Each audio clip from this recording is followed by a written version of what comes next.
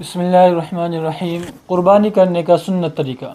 تو دیکھیے، قربانی کرنے کا ایک طریقہ ہوتا ہے، یہ نہیں کہ جیسے دل چاہے ویسے کر لیا۔ اللہ کے رسول علیہ الصلاۃ والسلام سے ثابت ہے، ترمذی شریف کی روایت میں ہے کہ ضحیٰ رسول اللہ صلی اللہ علیہ وسلم بکبشین اقرنین املحین، کہ اللہ کے رسول علیہ الصلاۃ والسلام نے قربانی کے دن یعنی بقرعید کے دن دو مینڈھے قربانی کیے جو سینگ دار تھے اور چت قبر تھے۔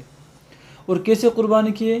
کہ آپ علیہ الصلاۃ والسلام نے ان کو ذبحہما بیدہی اپنے ہاتھوں سے قربان کیا۔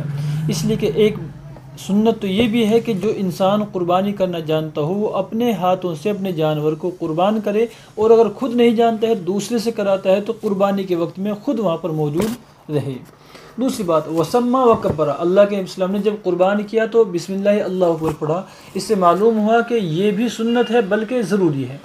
اس لیے کہ قرآن کریم سے یہ ثابت ہے کہ اللہ جب جانور ذبح کیا جائے تو اللہ کا نام لیا جائے، تو اس لیے یہ واجب اور ضروری ہے اگر اللہ کا نام لیے بنا جانور کو ذبح کیا گیا تو یہ حرام ہوتا ہے۔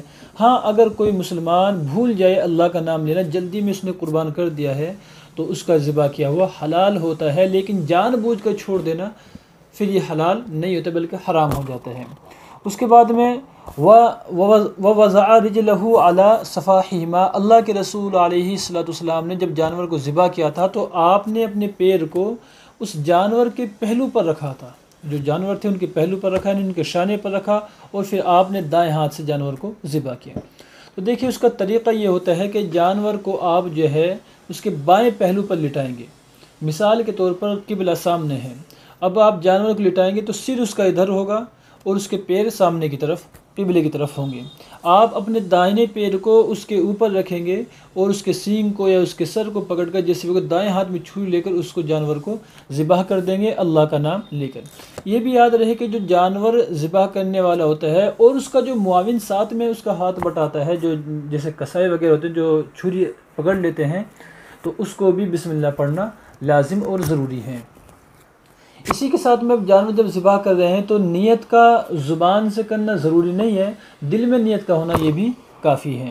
ذبح کے بعد میں دعائیں ہیں اور یہ پڑھنا بھی ثابت ہے، جیسے قرآن کریم کی آیت ہے کہ انی وجہت وجہ علی فطر السماوات والارض حنیفا وما انا من المشرکین۔ قل ان صلاتی و نسکی و محیای و مماتی للہ رب العالمین۔ لا شریک لا و بزالی کا امیر تو وانا اول المسلمین۔ اس آیت کو جس کا یاد ہو تو پڑھ لیا جائے، اگر یاد نہیں ہے تو کوئی ضروری نہیں ہے، لیکن پڑھنا بہتر ہے اگر یاد ہو یا یاد کرنے کی کوشش کی جائے۔ دوسرے، اس کے بعد میں دعا پڑھی جائے۔ کہ ذبح کرنے کے بعد میں اللہ سے دعا کی جائے کہ اللہ تقبل منی کہ میں تقبل من حبیبی کا محمد صلی اللہ علیہ وسلم و من خلیل کا ابراہیم علیہ السلام۔ یہ دعا ہے کہ اللہ سے دعا کریں کہ اللہ جیسے آپ نے اپنے حبیب پاک اور حضرت ابراہیم اپنے خلیل کی قربانیاں قبول کی ہیں، اسی طریقے سے میری قربانی بھی ہماری قربانی بھی قبول فرما لیجیے تو بہرحال یہ سنت طریقہ ہے قربانی کرنے کا کہ قربانی جو ہے بقرعید کے دن تین دن قربانی کی جا سکتی ہے، دس تاریخ، گیارہ، بارہ کو۔